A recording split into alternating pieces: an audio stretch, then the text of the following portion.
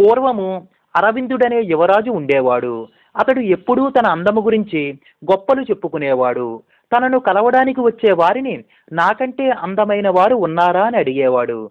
వారు అతడి మెప్పు పొందేందుకు ఎక్కడా లేరని చెప్పేవారు. కొద్ది రోజులకు అతడి తండ్రికి ఈ విషయము తెలిసింది. దీనికి పరిష్కారము కనుగొనాలని మంత్రికి చెప్పాడు. ఒకరోజు మంత్రి యువరాజుని కలిసి ఏమిటి యువరాజా మీ అందము కాస్త తగ్గినట్లుంది అని అడిగాడు. దాంతో యువరాజు ఆందోళనగా పక్కనే ఉన్న ఒక భటుణ్ణి పిలిచి నా అందం ఏమైనా తగ్గిందా అని అడగ్గా లేదని బదులిచ్చాడు భటుడు. విన్నారుగా మంత్రి గారు మీ చూపులోనే ఏదో లోపం ఉన్నట్లుంది అన్నాడు యువరాజు.